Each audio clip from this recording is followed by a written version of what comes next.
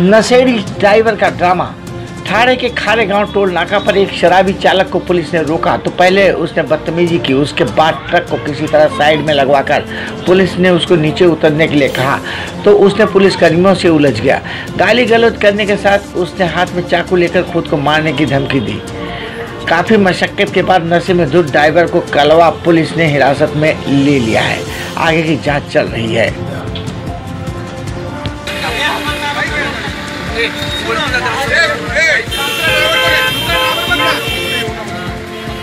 अरे गाडीचा पुढे घेऊन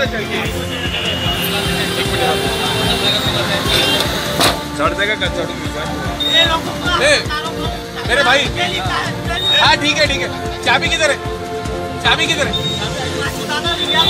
हाँ ठीक है ठीक है। ठीक है वो सब करता हूँ। मेरे भाई चाबी किधर है डायरेक्ट होएगा।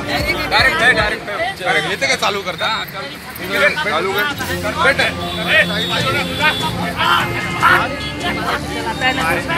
तू चल बैठ। मैं मैं बैठता हूँ ना। नहीं बैठ। मैं उधर बैठता हूँ।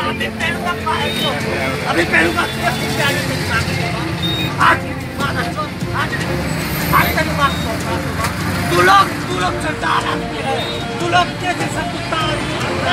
समझ तू है। मीडिया मीडिया है हवलदार नहीं होगा हवलदार नहीं होगा ये देखो ये